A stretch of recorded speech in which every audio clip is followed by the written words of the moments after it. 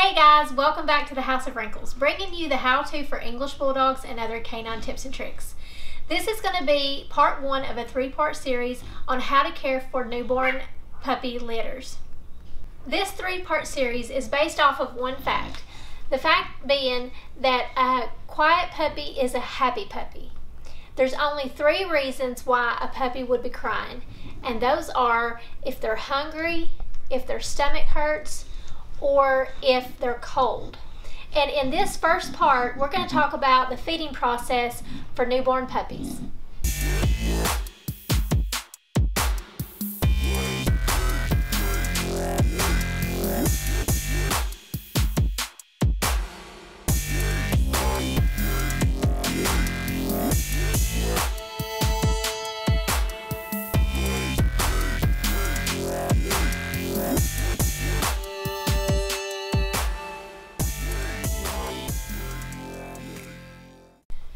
What we want you to know is that a happy puppy is a quiet puppy.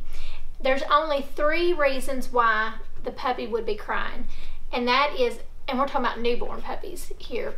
Um, and that is either they're hungry, uh, their stomach's hurting, or they're cold. And um, also, if they're squirmy like this, that means that they're they're healthy as well.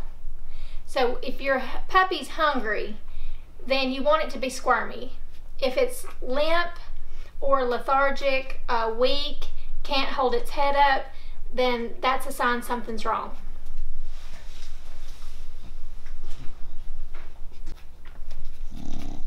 So what we're going to do is um, we're going to do three videos and the next three videos will be hitting on each of those points. she is verbal. She is hungry. so that's what it sounds like when they're hungry. Okay, what I want to tell you about feeding time is it's really, really, really important that you are completely interactive, active with your mama and the babies when they're eating. You can't just put them in here and hope for the best. Um, I think they're going to feed because as you can see, they get lost. Like this one right here, this one is not feeding. You've got to really get in here and make sure that they're latching on good, that they're not knocking each other out of the way.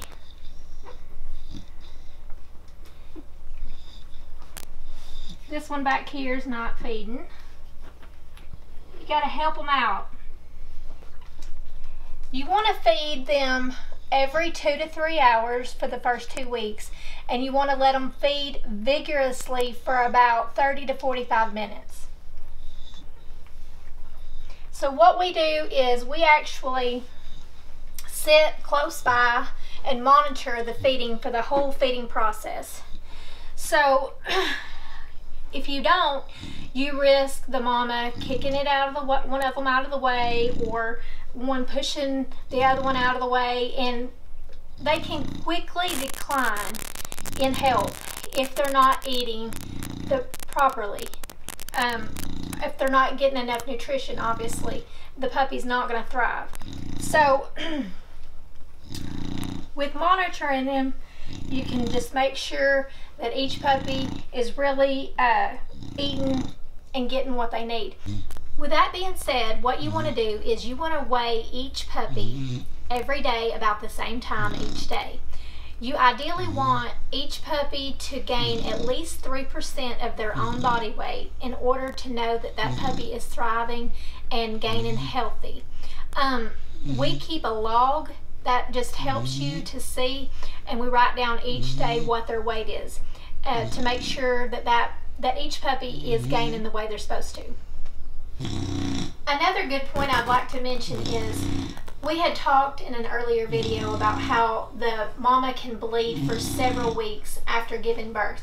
That is um, true for C-section births or natural births. And you want to kind of keep that area clean.